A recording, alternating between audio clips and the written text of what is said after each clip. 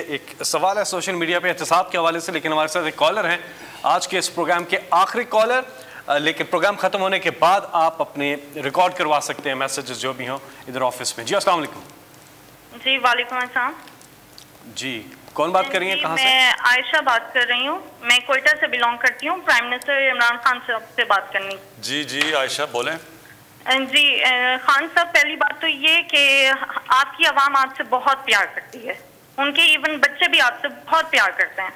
आप जो इकदाम कर रहे हैं, हमें आप पे पूरा भरोसा है। लेकिन मसला इतना बड़ा है कि कहीं सुनवाई नहीं होती है। मैं बेवा हूँ, मेरी वालदा भी बेवा है। और कोई मेरा बहन भाई नहीं है। तीन साल का मेरा बेटा है। पैंसठ साल की टीचिंग की कमाई से मेरी वालदा ने सिंगल स्टोरी घर बनाया डीएच डैबर में, लाहौर में। और उसको 2019 में किराए पे हमने दिया। वो उन्होंने कब्जा कर लिया एसएसपी का भाई था। शेख उमर साहब ने मेरा दो 2020 में दिसंबर में मेरा कब्जा छुड़वाया। अल्लाह ताला उन्हें सेहत तंदुरुस्ती दे, इज़्ज़त दे। लेकिन वो बंदा नतीजे में मुझे पाँच लाख का मखरूज करके चला गया। शेख उमर साहब ने हिदायत की थी कि इनका मसला हल करवाएँ, लेकिन उनकी ट्रांसफ़र हो गई। जो नए सीसीपीओ साहब थे उन्होंने भी हिदायत की। अब वो सिर्फ़ अब तक जो है हिदायत ही चल रही है एसएसपी के भाई होने के नाते कोई मसला हल नहीं हुआ। और नतीजा ये निकला कि मेरी वालदा ने इतनी टेंशन ली कि वो कैंसर पेशेंट डायग्नोज हो गई हैं। मेरे पास कफन के भी पैसे नहीं और मैंने बैंक से लोन लेकर अपनी वालदा का इलाज करवा रही हूँ। आप मुझे बताए बच्चे को पालू पैसे लोगों के दू मैं या मैं लोन के पैसे दू कम से कम मेरे पैसे तो मुझे दिलवाए? और कम से कम सोसाइटी इतनी बड़ी है उसको इस चीज़ का पाबंद बनाए कि जिस तरह अस्करी सोसाइटी वो रेंट के मामला को देखती है। तो ये भी रेंट के मामला देखे। और कम से कम आप चीफ जस्टिस को हमारी अपील पहुंचाएँ बात की सजा दी जाती है? क्यों स्टे दिया जाता है ऐसे लोगों को? किस बात का स्टे दिया जाता है? मैं आप यकीन करें कोविड में कोयटा से लाहौर पूरा एक साल में हॉस्टल में ख्वार होती रही। पूरा एक साल एक कमरे में हॉस्टल में अपनी वालदा और बच्चे के साथ में रही हूँ कि मेरा घर किसी टाइम छूट जाए, लेकिन कुछ नहीं होता था। आपके नुमाइंदों के पास भी मैं गई जलील होती थी मैं। जी देखिए, ये मैंने अपने पिछले तीस साल में कितनी दफ़ा इस तरह की कहानियाँ सुनी हैं। और ये आप बात ठीक कह रही हैं कि हमारा जो सिस्टम है, जो इंसाफ का निज़ाम है, वो आहिस्ता आहिस्ता काम करना छोड़ गया। और वो जो इंसाफ होता है ना जी, मैं आपको पहले समझा दूँ, इंसाफ होता क्या? है इंसाफ तो कमज़ोर को चाहिए होता है। ताकतवर तो अपने आप को कानून से ऊपर जाता है कि कानून उसके लिए हो ना। ये जो सारा माफियाज हैं पाकिस्तान में, जो इस वक्त सब इकट्ठे हुए हुए हैं कि किसी तरह ये गवर्नमेंट चली जाए। इनकी क्या मस, मसला क्या हमारी गवर्नमेंट से? इनका मसला ये है कि कानून के ऊपर रहना चाहते हैं। कि और और अगर ये कानून के ऊपर रहते हैं तो ये मुल्क आगे इसलिए नहीं बढ़ सकता क्योंकि कोई भी दुनिया में जिस मुल्क में कानून की हुक्मरानी नहीं होती वो मुल्क आगे नहीं बढ़ सकता। जितने भी मुल्क आगे बढ़े हुए हैं क्योंकि जिसका भी वास्ता पड़ा है बाहर एडवांस्ड सिविलाइज तरक्की याफ्ता मुल्कों को देखने का तो उनमें एक चीज़ होती है, कानून की हुक्मरानी। कोई कानून के ऊपर नहीं। वहाँ माफियाज नहीं काम कर सकते।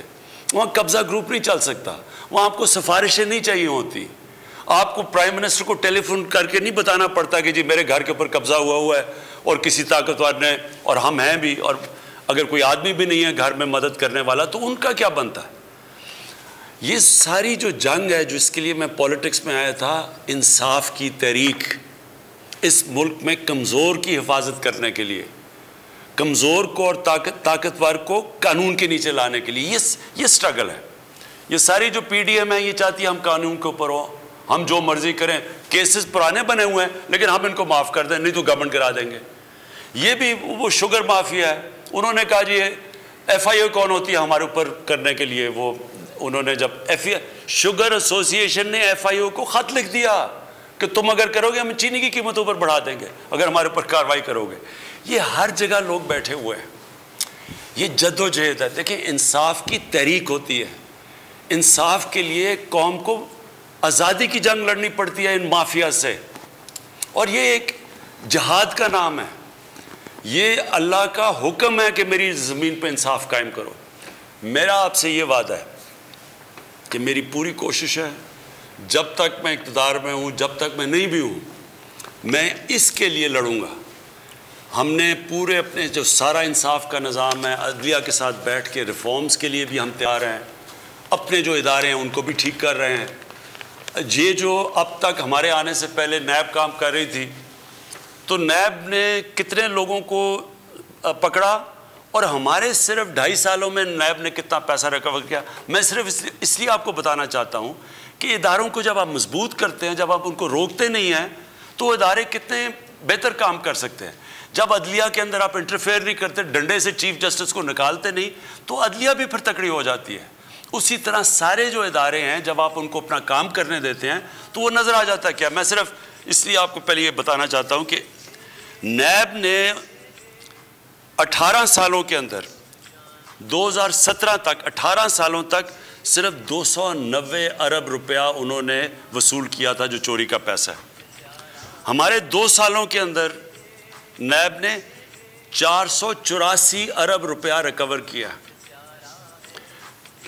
anti corruption Punjab anti corruption Punjab ने दस सालों में, जो पिछले दस साल थे नून लीग के, उसमें सिर्फ़ दो इशारिया छः अरब रुपया रिकवर किया था। हमारे ढाई सालों के अंदर, जो ज़मीन ही सिर्फ़ उन्होंने रिकवर किया वो 218 अरब रुपया। मैं सिर्फ़ आखिर में आपको ये कह रहा हूँ कि ये है जंग चल रही, ताकतवर को कानून के नीचे लाने के लिए। आपकी तो इंशाल्लाह हमने नोट कर लिया हम पूरी आपकी करेंगे। लेकिन सिस्टम ऐसा होना चाहिए कि आपको कंप्लेन ना करनी पड़े, सबको कानून से डरना पड़े। और ये एक जहाद का नाम है। ये हम लड़ रहे हैं इन जिस तरह जिस तरह जा रहा है, जिस तरह मैंने आप बताया कि ये ताकतवर लोगों से पैसे वसूल किए हैं, ये कभी पाकिस्तान में पहले नहीं हुआ। इतने ताकतवर लोग जब जेल में जाके फिर धमकियाँ देते कि इमरान खान तुम्हें भी हम देख लेंगे, ये पहले कभी इन्होंने जेलों के चक्कर नहीं लगाए। ये इस दौर में हो रहा है। और पहली दफ़ा आप देख रहे हैं और असल में ये चेंज ये है कि ताकतवर के ऊपर हम अड़े हुए हैं कि इनको हमने कानून के नीचे लेके आना है। किसी से ज़्यादती नहीं करनी, किसी के ऊपर गलत केसेस नहीं बनाने। लेकिन जो इन्होंने इन्होंने इस मुल्क से फ्रॉड किए हैं, चोरियाँ किए हैं, डाके मारे हैं, जुर्म किया है, इनको इस जुर्म की सज़ाएँ दिलवानी ये हम कामयाब होते जाएँगे इन जैसे हम कामयाब होंगे, ये खुद ही मुल्क बदलता जाएगा। ये जो छोटे छोटे नीचे कब्ज़ा ग्रुप बैठे, ये खुद ही डर जाएँगे सारे, जब इन्हें पता चलेगा कि अब किसी कोई सिफारिश नहीं चलेगी ये कब्ज़ा ग्रुप इसलिए कामयाब हो जाते हैं कि उनको पुलिस की प्रोटेक्शन मिल जाती है, ताकतवर, कोई एम एन ए प्रोटेक्ट कर लेता है, इसलिए काम करते हैं।